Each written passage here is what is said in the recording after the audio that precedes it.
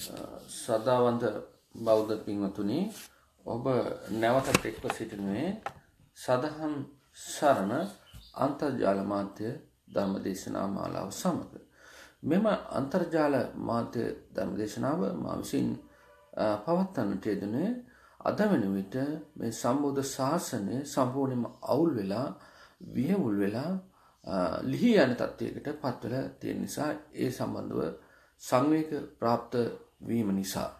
එය අනුව මම වරින්වර කොටස් හැටියට මේ බුද්ධ ධර්මයේ අවුල්වෙච්ච ස්ථාන එම අවුල් නිවැරදි කරන ආකාරත් පිළිබඳව විස්තර විභාග අනුක්‍රමයෙන් ඉදිරිපත් කරනු ලබෙනවා.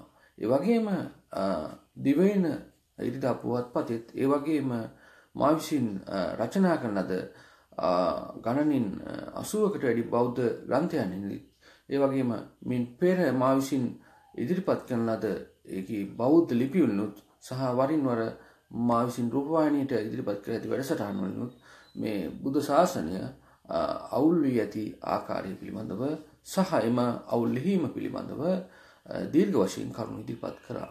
අද විශේෂයෙන්ම මා අදහස් කරන්නේ මේ බුදු ශාසනයේ ඇති තිබෙන අවුල මොකක්ද අවුල ලිහන්න අපිට මැදිහත් වෙන්න පුළුවන් ඒ වගේම එලෙස මැදිහත්වීමෙන් ප්‍රතිඵල අපිට අත් කරගන්න පුළුවන්ද කියන කතාව. ප්‍රධාන කොටම ගොඩක් අය කල්පනා කරනවා බෞද්ධයෝ අපි බෞද්ධයෝ අපි නොසැලෙන බෞද්ධයෝ ඒ නිසා අපි මරණින් මතුත් මේ ආකාරයෙන් බෞද්ධ හැටියට ඉඳීවි කියලා. මෙන්න මේක සම්පූර්ණයෙන්ම වැරදි සහ මිත්‍යා අදහසක්. ඔබ සමයට නොදන්න ඇති ඔබ සිතන පතන දේ අනිච්චානුගව වැඩි ප්‍රමාණය සිද්ධ වෙනවා කියලා. කියන්නේ ඔබ සිතන දෙයින් 95ක් පමණ කලින් ලද දත්යන් සහ තීරණයන් මත නැවත නැවතත් ලැබීමේ ක්‍රියාවලිය පුනරාවර්තනය වීමෙන් තමයි සිද්ධ වෙන්නේ. කියන්නේ ඔබ යමක් ඉගෙන ගන්නවා, ඒ හිතේ දරා ගන්නවා. අනේ හිතේ දරා ගන්න උත්තර ඔබ විට નિરાයාසෙන් ගලා එීමේ ක්‍රියාවලියක් තියෙනවා මොලේ. අද වෙන විට විද්‍යාඥයන් හොයාගෙන තියෙනවා ඔබ ගන්නා තීරණ වලින් 95%කටම වග කිය යුත්තේ ඔබ විසින් ඉගෙන ගත්ත දේ ඔබ විසින් මතකයේ ගබඩා කර ගත දේ ඔබට පාසලෙන් උගන්වන ලද දේ. ඒ නිසා තමයි උපතින් බෞද්ධයා බෞද්ධ වෙන්නේ උපතින් ක්‍රිස්තියානි පුද්ගලයා ක්‍රිස්තියානි වෙන්නේ ආදී වශයෙන්. ඒ හැරෙන්නට ඔවුන් ඉච්ඡානුගව සිතාමතා ගත් තීරණයක් මත නෙමෙයි උද්දාගම අදහන්නේ.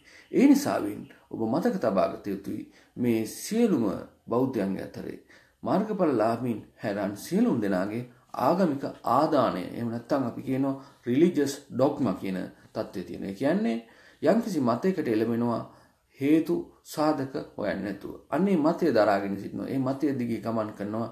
අන්නේ මතවාද සියල්ලම ප්‍රතික්ෂේප කරලා දානවා.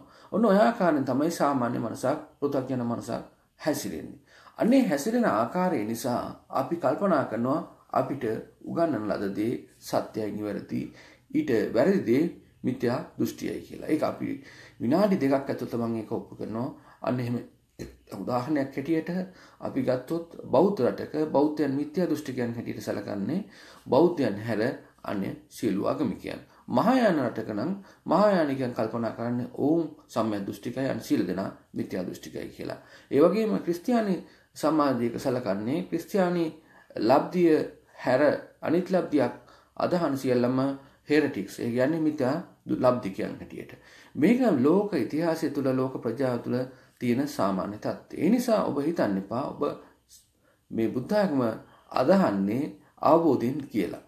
සියලුම දෙනා මාර්ගඵලලාභින් නොවන සියලු දෙනා තමන්ගේ පුරුද්දක් හැටියට බුද්ධාගම අදහන්නේ අලුතින් බුද්ධාගමට බැනුවොත් හැරෙන.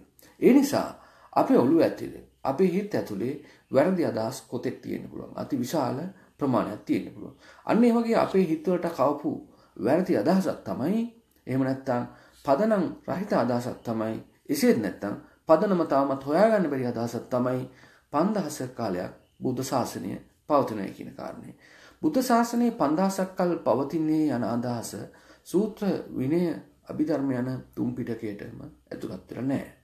සූත්‍ර පිටකයේ විනය පිටකයේ අභිධර්ම පිටකයේ මේක සාරා පරීක්ෂා කරන බලනකොට තියෙන්නේ බුදු ශාසනය වසර 500යි පවතින කියන මතය තමයි ප්‍රබලව නැගියෙන්නේ. ඒ වගේම මේ මතයට සාපේක්ෂව ඉන්දියාවේ බුදු ශාසනය පැහැදිලිවම වසර 500ක් තුල නැති වෙලා ගියා. මූලික බුද්ධාගම. ඒ අනුව ඒ මතවාදය කොච්චර නිවැරදිද කියලා පේනවා.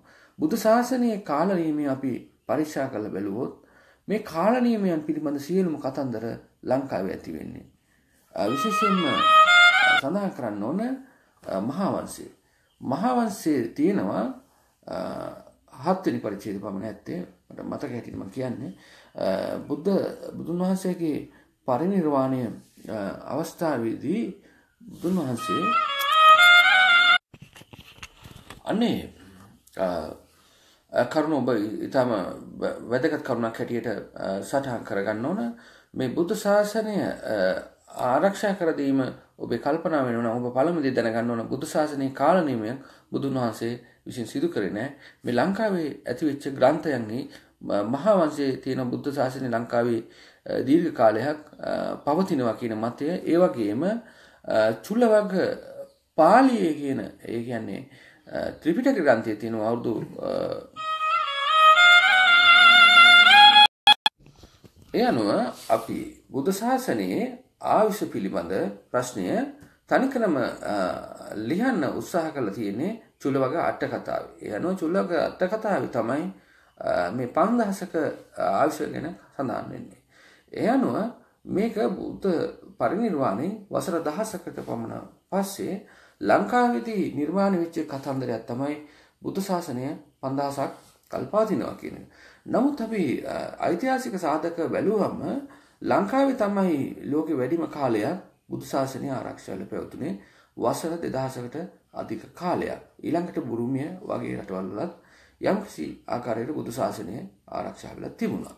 දැන් මෙතනදී ප්‍රධාන කොටම අප කල්පනා කළ යුත්තේ මේ බුදු ශාසනය 5000ක් කල් ආරක්ෂා වේද කියන ප්‍රශ්නය. දැන් ප්‍රධාන කොටම අපිට අද වෙන විට ගන්නනවා ආගමික සහජීවනය කියලා. ආගමික සහජීවනය යන්නේ අදහස් වෙන්නේ අන්‍ය ආගමිකයන්ගේ අත මතවාද ඉවසීම කියන කාරණා. ඒක හොඳයි. ඒක ඉතාම වටින දෙයක්. නමුත් ප්‍රධානම වශයෙන් මෙම කරුණ යම් ආකාරයකින් බෞද්ධයන් අතින් මෙම රටේ පාලන බලය දිලිහිච්ච දවසට ඒ ආකාරයෙන් පවතීද? උත්තරය ඊටම පැහැදිලි නැත කියන එක. උදාහරණයක් වශයෙන් අපි ගමු මැලේසියාව. ඒ වගේම ඉන්දුනීසියාව. මේ කලින් බෞද්ධ රටවල්. ඒ වගේම අද වෙන විට මේවා වසර ඉතාම අඩු කාලේ දැන් උදාහරණයක් වශයෙන් මැලේසියාව වසර 200ක් වගේ කාලයක ඇතුළත පරිවර්තනය වීමක් වෙලා අබෞද්ධ රටක් බවට 1800 ගණන්වල පත් වුණා. ඉන්දුනීසියාවත් එහෙමයි. ඒ වගේම ඇෆ්ගනිස්තානය, ඒ වගේම කාම් වියට්නාමය මේ සියල්ලම කලින් බෞද්ධ රටවල්. දැන් උදාහරණයක් වශයෙන් වියට්නාමයේ 90කට අධික බෞද්ධ ජනගහනයක් හිටියා.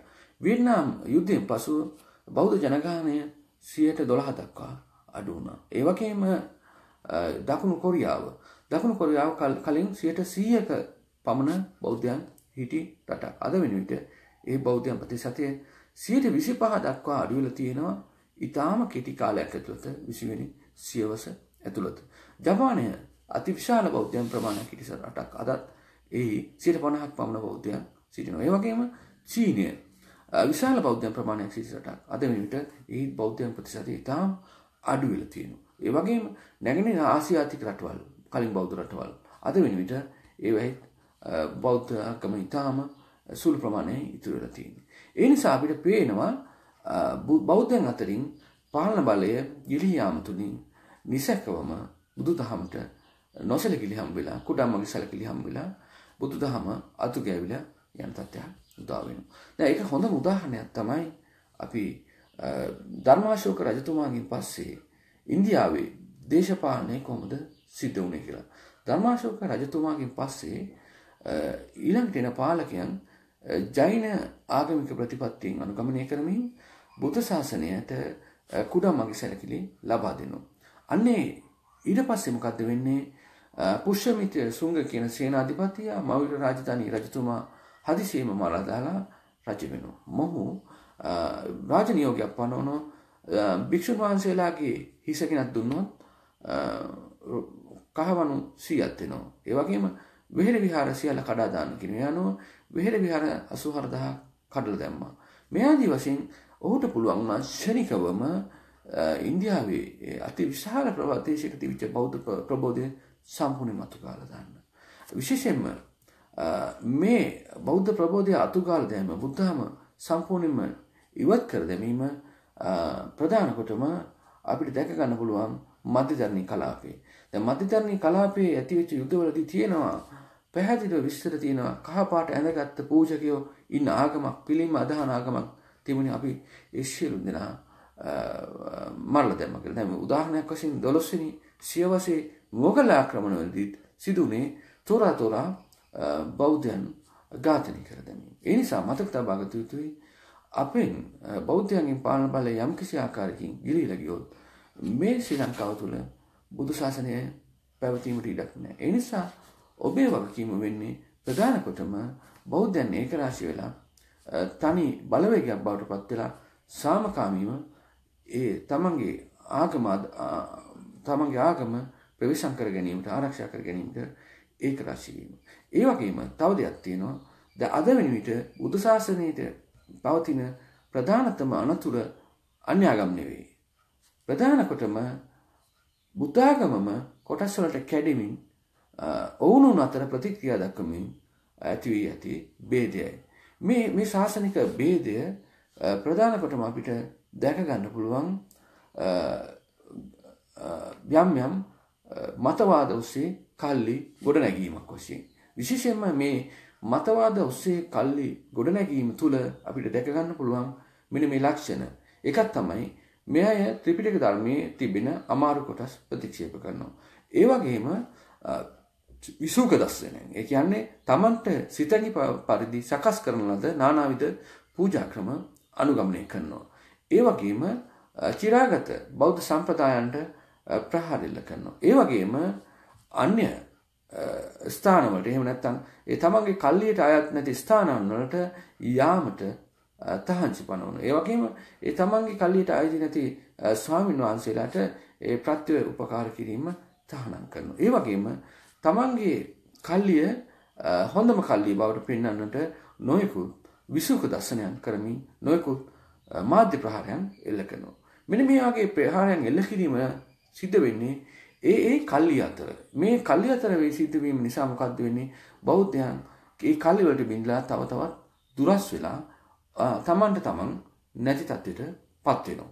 ඒ වගේම අනේ නැත් තමන්ට තමන් නැති තත්ත්වයට තමන්ට තමන්වත් නැති තත්ත්වයට පත්වීම අද වෙන විට සම්පූර්ණ වෙලා තියෙන. යනුව පැහැදිලිව බැලුවොත් පන්සල අසපුව ආශ්‍රමය ඒ වගේම ලංකාවේ බුදුන් වහන්සේ පන්නේ කියන ගුරුකුලයන ගුරුකුල හතරකට බුද්ධාගම බෙදිලා ඔවුනුන් වාද කර ගැනීමක් ඔවුනුන් විරසක වීමක් ඔවුනුන් අප්‍රසන්නතාවයෙන් කටයුතු කිරීමක් තියෙන්නේ. නමුත් අද බැලුවොත් ලංකාවේ දේශපාලන ශාස්ත්‍රයේ වත් එවැනි තත්ත්වයක් නැහැ. දේශපාලන ශාස්ත්‍රයේ කොයිතරම් සමගියක් තියෙනවද කියලා අපිට පේනවා. ඒ පාර්ලිමේන්තු මන්ත්‍රීවරුන් බොරුවට මිනිස්සු ඉස්සරහා එකිනෙකා කලා කරමින් ඊට පස්සේ යම්කිසි තීරණයකදී ඔක්කොම තීරණයට එකතු වෙන ආකාරය. ඒ නිසා මතක තබා ගත යුතුයි බුද්ධාගම නැති වෙනව නැති වෙන්නේ ප්‍රධාන කොටම මේ බෞද්ධයන් කල්ලි වලට බෙදිලා මේ කල්ලි පෝෂණය කරමින් අන්‍ය ස්ථානවන්ට කරන ගැරහිලි වෙනස්කම් නිසා. ඒ නිසා බෞද්ධයන්ගේ ශක්තිය අඩු වෙලා බෞද්ධයන්ට කිසිදු තීරණයක් ගැනීමට හැකියාවක් නැතුව ඉන්නේ. බෞද්ධයන් කිසි ඉල්ලීමක් කරොත් රජයට එම ඉල්ලීම සලකා බැලීමට අවශ්‍යතාවයක් නැහැ. හේතුව රජය දන්නවා බෞද්ධයන් කියන්නේ තනි එකකයක් නෙවෙයි. බෞද්ධයන් කියන්නේ ඕනොන් සමග ප්‍රහාර එල්ල කරගමින් සිටින ඒකකයක් කියලා. අන්න ඒ නිසා රජය කිසිම දාසක බෞද්ධයන්ගේ අවශ්‍යතාවයන් ගැන සැලකෙන නැහැ. මේ ආකාරයට පැවතුනොත්. ඇත්ත වශයෙන්ම කල්පනා කරොත් මේ බෞද්ධයන් ભેද කිරීම කියන එක එක්තරා කූට සැලස්මක ප්‍රතිඵලයක්. මේ සැලස්ම මා විසින් හෙළිදරව් කරගන්න ලද්දේ මම හිතන්නේ දැනට අවුරුදු 12කට 13කට වගේ කලින්. ඒ සැලස්මෙහි න්‍යායාචාරවුන් වෙන්නේ දේශපාලකයන්. මේක ඊටම වටිනා කතාවක්. මේ දේශපාලකයන් අතර හුමාරු වෙන සංවාදයන් ඇසුරෙන් තමයි මේ කරුණ මා උපුටාගත්තේ. දේශපාලන නායකයන්ට ඔවුන්ගේ ඒ තොරතුරු ලබා දෙන අය පෙන්වා දීලා තියෙනවා දේශපාලන නායකයන් ක්‍රමයෙන් ක්‍රමයෙන් බලය අඩු වෙලා බෞද්ධ ආගමිකයන් ඒක රාශී වීමේ ප්‍රවණතාවක් හටගන්නවා කියලා දැනට අවුරුදු 10කට 12කට කලින්. ඒ අනුව මොවුන් තීරණය කරා බෞද්ධ බලවේග කිහිපයක් හදන්න. අන්නේ හදපු බෞද්ධ බලවේග පෝෂණය කළා අවසාන මොහොතේ ඔවුන්ගේ ඡන්ද බලය තහවුරු කරන පිණිස ප්‍රධාන ඡන්දයකදී ඒක රාශී කර ගැනීම බලාපොරොත්තු වෙනවා. ඒ වගේම ඒ බෞද්ධ බලවේග ඔවුන් විසින් පහසුවෙන් හැසිරීම බලාපොරොත්තු වෙනවා. ඒ ආකාරයෙන්ම ඔවුන් ක්‍රියාව සිදු කරා. අන්නේ ක්‍රියා සිද්ධ කිරීම තුලින් පැහැදිලිව ඔවුන් බෞද්ධ බලවේග කීපයක් හැදුවා. බෞද්ධ බලවේගයන්ට පිරිස ඒක රාශී කරා. ඒ ඒක රාශී කිරීම මොනවටද? අවශ්‍ය අවස්ථාවේදී එකතු කරගන්න පාලන රහසක් හැටියට මේක කළේ. අවසාන වශයෙන් ඒකේ ප්‍රතිඵලය හැටියට සිදු වුණේ බෞද්ධයන් තමන්ට තමන් වන්න නැති එකාට එකේ බේද වෙච්ච සමාජයක් බවට පත්වීම. මේ ආකාරයෙන් බුදු ශාසනයට තව කාලයක් පවතින බෑ. බෞද්ධයන් විසින් අද කල්පනා කළ යුතුයි අපි ලොකු අනතුරක ඉන්නේ. මොකක්ද අපේ අනතුර? අන්‍යගම් නෙවෙයි. අපි ભેද බින් වෙලා හිටීම. ඒ නිසා බෞද්ධයන් තීරණය කරගත්ත යුතුයි. අපි මේ ආකාරයට ભેද බින් වෙන්නේ නැතුව තනි බෞද්ධ සමාජයක් විදියට ඒක රාශි වෙනවා කියලා. ඒ නිසා අද සදාන් සරණෙන් මෙම සතන් සන කොටසෙන් ඔබට දෙන ප්‍රධානතම පණිවිඩය තමයි බෞද්ධයන් තනි බෞද්ධ බලවේගයක් බවට පත් වෙන්න බුදු ශාසනය දීර්ඝ කාලයක් ආරක්ෂා කරගෙන ඉන්නට අවශ්‍ය නැහැ.